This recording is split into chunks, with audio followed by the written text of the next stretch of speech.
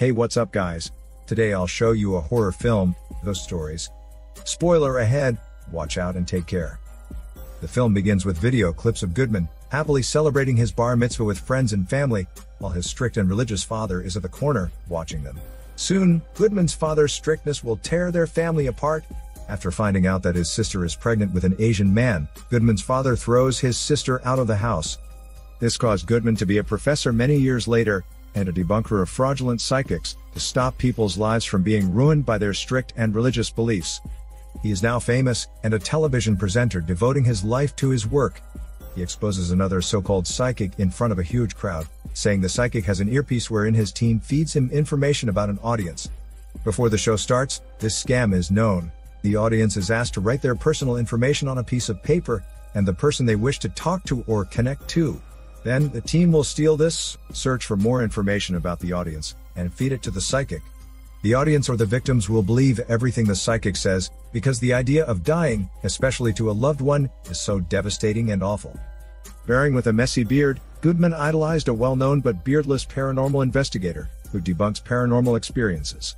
The investigator is known for his phrase, the brain sees what it wants to see, which has been Goodman's motivation to continue his work. However, one day, the investigator who spent his life explaining away mystery cases, became one himself as he disappeared without a trace. One day, Goodman receives a package from an anonymous sender. It contains a picture of the investigator holding today's newspaper, his notes, a tape, and a record player. Goodman listens to it, and is shocked to hear the investigator's voice. The investigator does not explain why he disappeared, and instead invites Goodman to come to a caravan park, specifically Caravan 79, where he is staying. Goodman comes to the address without many questions, excited to meet his beardless idol. However, as he steps into the caravan, he is disgusted and almost wants to puke from the investigator's lifestyle. Goodman dismisses that because he is in front of his beardless idol, the sexy man who changed his messy life. However, the investigator rudely dismisses his shitty praises and gives him a folder containing three cases of supposedly real supernatural ghost sightings that he cannot solve. The investigator begs him to help investigate these cases and tells him that he is wrong, that there is always an explanation for the paranormal phenomena. Goodman leaves the caravan, overwhelmed by emotions, as things did not happen as he expected they would be. As he looks back to the caravan, he sees someone standing behind the investigator. Goodman dismisses that, and investigates the first supernatural case, Tony. Goodman immediately notices that Tony has drinking problems at the first meeting, so he uses the money to force him to answer his questions. The first part is more about his personal life, Tony's wife has died because of cancer, and his only daughter is in the hospital, suffering from locked-in syndrome. It is when a patient is aware of their surroundings, but cannot move or communicate as they are paralyzed. Tony has stopped visiting his daughter, because he cannot stand seeing her in that state. But it only makes him guilty. Then, they jump onto Tony's experience. A flashback kicks into the time when Tony worked as a night watchman, in a disused asylum for women. It is late at night, and is Tony's shift, He's drinking tea while listening to a radio program, when suddenly the power goes out. Tony gets out and replugs the wire, turning back on the electricity. As he returns to his spot, he finds his cup of tea sitting at the door, confusing him. Tony dismisses that, turns off the radio, and waits for his shift to end. But then, the power goes out again, so Tony gets out to fix it. However, he finds the wires unplugged, and some scratches on the machine. Although confused, Tony replugs them, turns on the radio music, and does his checking round in the building. Everything seems normal, so Tony puts down the flashlight and smokes a cigarette. But then the lights in the hallway go out, and Tony hears some footsteps. Tony immediately takes the flashlight and lights the hallway, where he sees a little girl in a yellow dress, standing there. She quickly vanishes, so Tony immediately returns to his office and radios his coworker. But instead, he hears a little girl's voice, calling him Dada. Right then someone bangs on the door, so although scared, Tony opens it. Fortunately, there is no one outside. But Tony hears some noises downstairs. Tony follows the noise, which leads to room 92, where the little girl shows up again. She walks toward him, holding a dead bird, and wraps her arms around his waist. Tony can only let out tiny breaths of air, as he is paralyzed from fear. Back to the present, Goodman interviews Tony's priest about the incident. Goodman argues that for Tony's experience to be considered real and serious, it must have a piece of material evidence, because Tony has so much emotional baggage. This offends the priest, as he believes that things and experiences like Tony's should not have evidence, and will not make people disregard and question their beliefs. Goodman then moves on to the next case, Simon, a teenager. Upon meeting him, Goodman notices that Simon has an unhealthy relationship with his parents. They pretend that their son does not exist in their lives. Goodman follows Simon upstairs to his room, full of posters, pictures, and books about demons.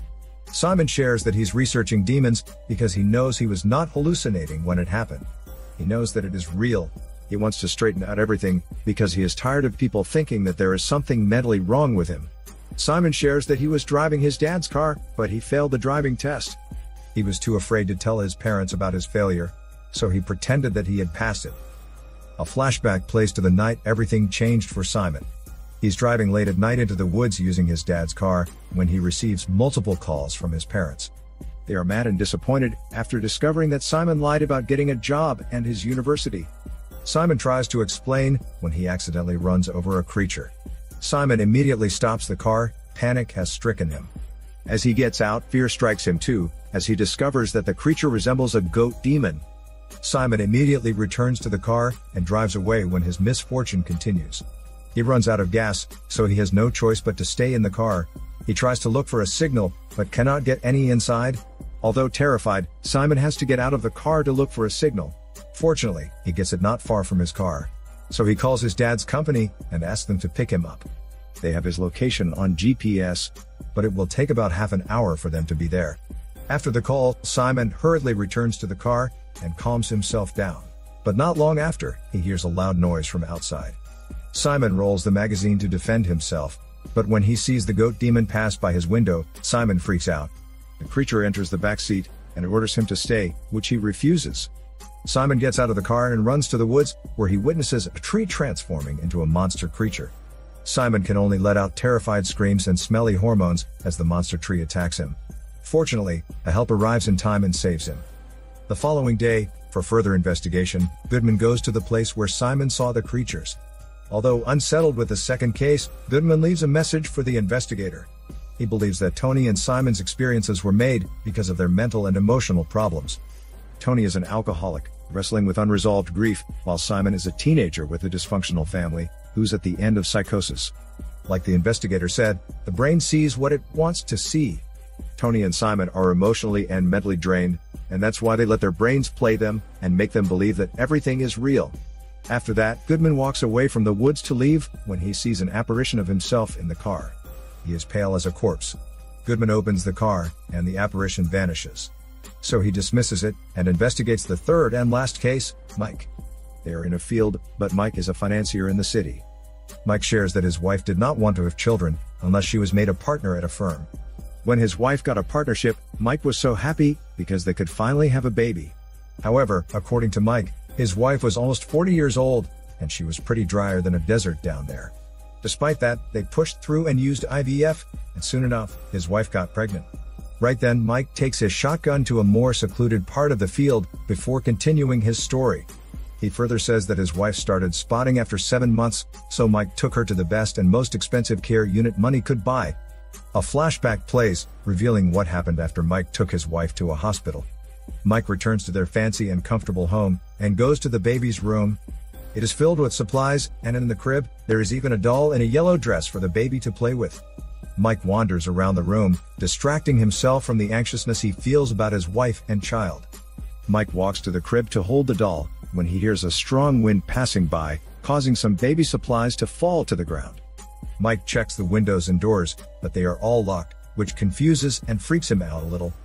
Mike dismisses that and takes the supplies when he sees another baby supply move by itself. Mike believes that they are the deeds of a poltergeist.